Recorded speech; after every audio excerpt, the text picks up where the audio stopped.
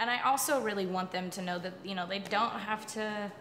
you don't have to look cute. You don't have to take cute flying selfies. Like just go fly and enjoy it and smile and love it and feel it because it's not about like putting it out there that like I'm a girl and I fly or you know like look how cute I look in my you know pinup outfit posing on an airplane. No, just just do what you want to do because it feels good